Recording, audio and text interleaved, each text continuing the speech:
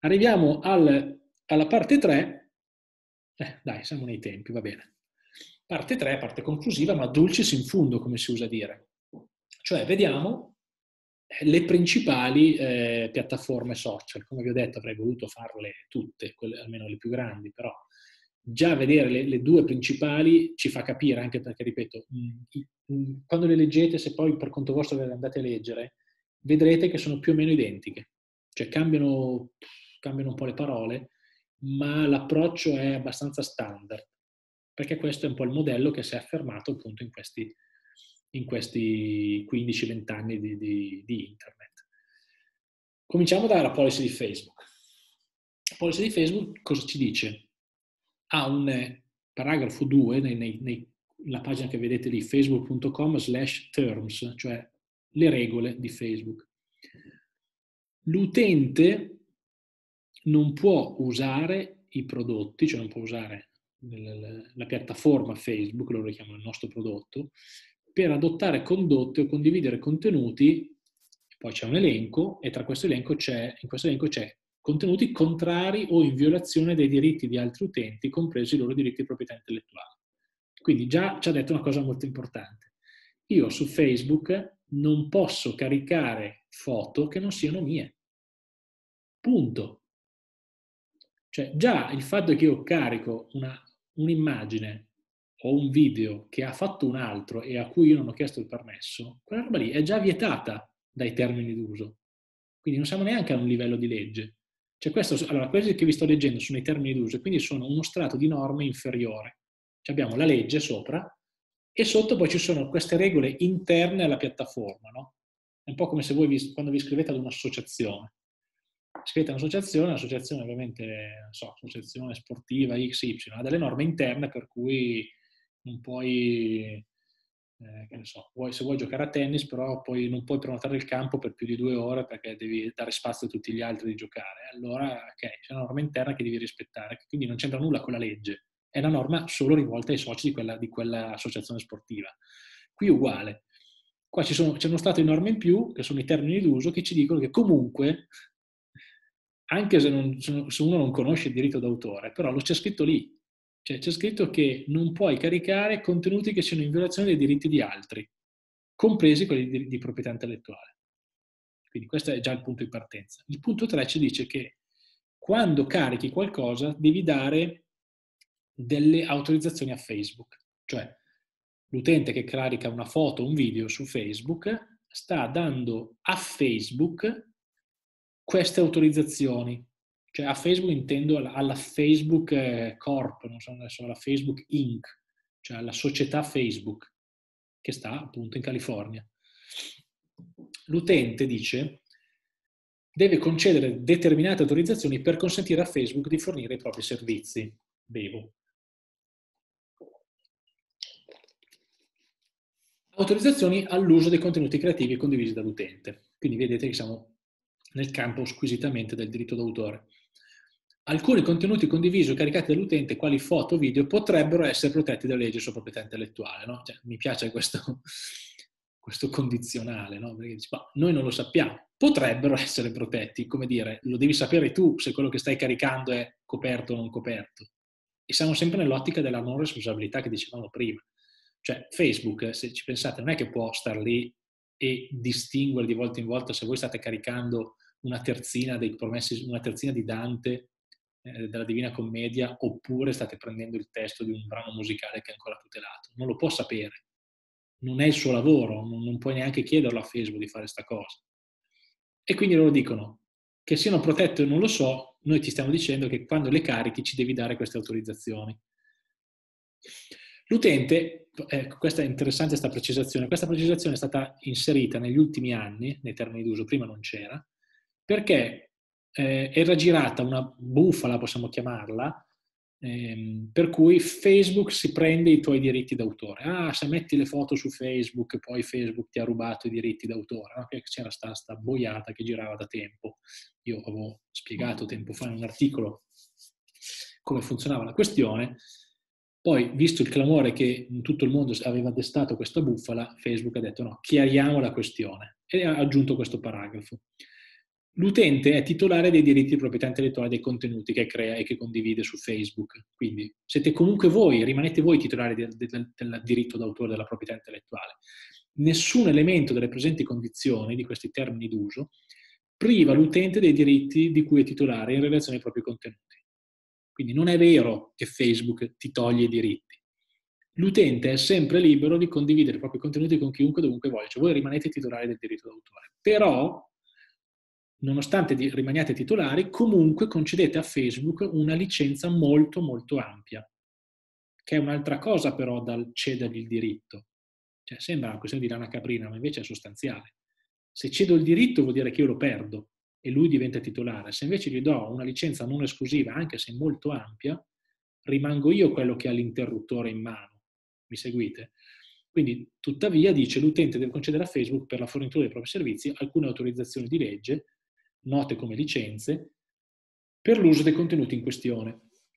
Nello specifico, quando l'utente condivide, pubblica o carica un contenuto protetto dai diritti di proprietà intellettuale, concede una licenza non esclusiva, eccolo qua, trasferibile, sublicenziabile, non soggetta a royalty e valida in tutto il mondo per la trasmissione, l'uso, la, distribuzione, la modifica, l'esecuzione, la copia, la pubblica esecuzione, la visualizzazione la traduzione e la creazione di opere derivate dai propri contenuti, nel rispetto della privacy e dell'impostazione dell'app dell'utente. È una roba immensa, cioè praticamente gli avete ceduto tante autorizzazioni, cioè siete rimasti titolari del diritto, però gli avete dato una libertà immensa sull'uso. Questo sì, questo è vero, ma è non esclusiva. Vuol dire che non è che le ha prese solo lui, questa roba, queste, queste autorizzazioni voi le potete dare anche ad altri.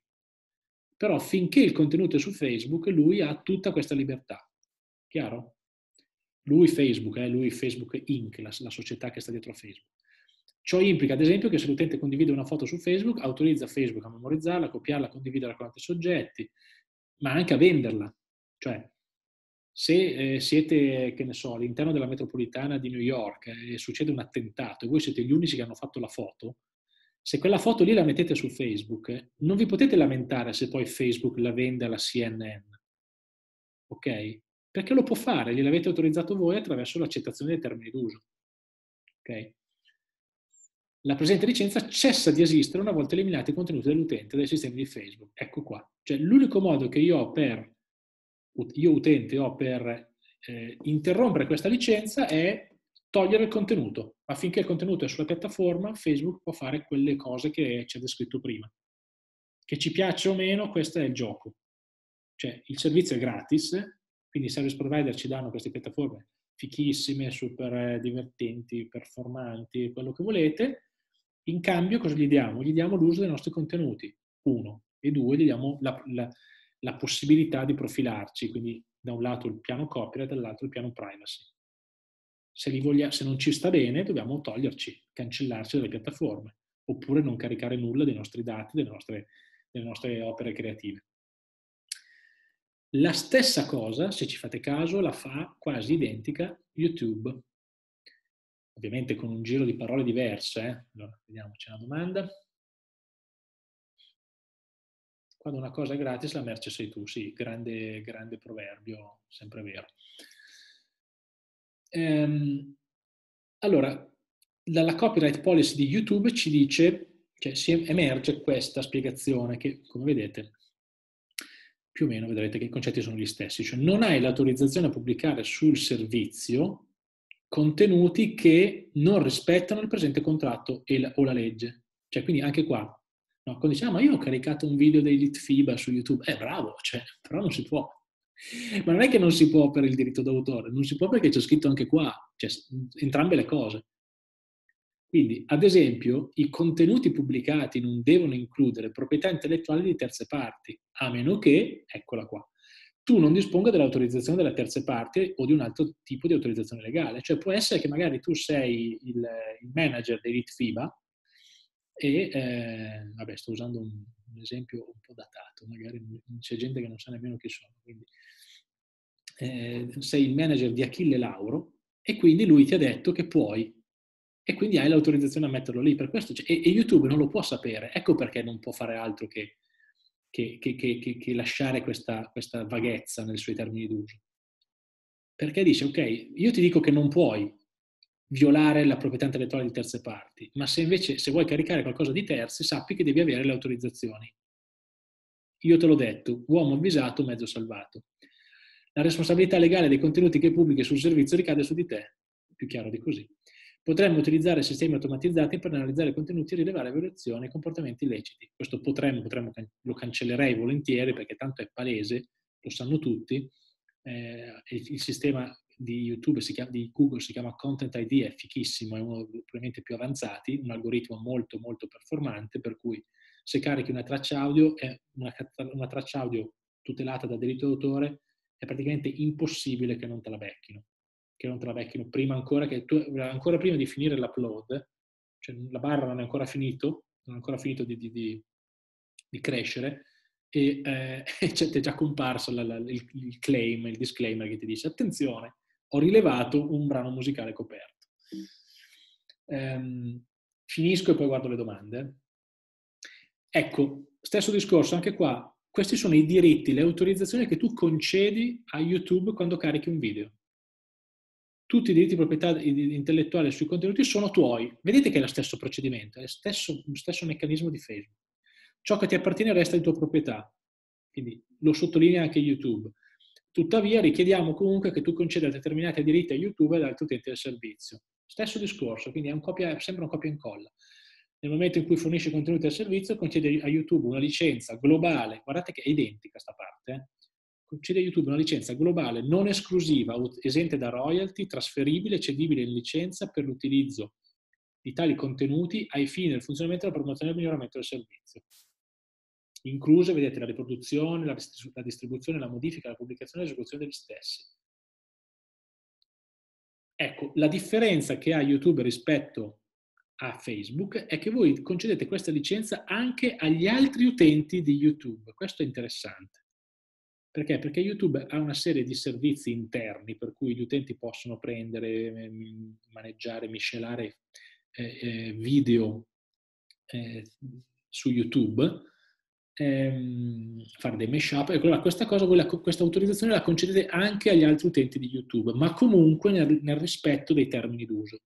Cioè, quindi non è che gli altri utenti su YouTube allora possono scaricare così eh, liberamente a mani basse, tut, tutte le, le, le, le, robe che sono su lì solo perché loro sono anche, a loro volta utenti di YouTube si sono registrati, no? Possono utilizzare alcuni servizi di YouTube e quindi per farlo devono avere queste licenze e voi gliele state concedendo.